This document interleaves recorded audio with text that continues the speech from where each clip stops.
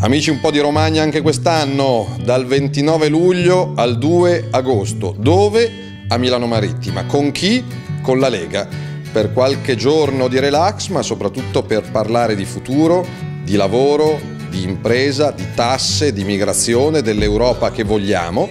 Quindi non prendetevi impegni, dal 29 luglio al 2 agosto io ci sarò.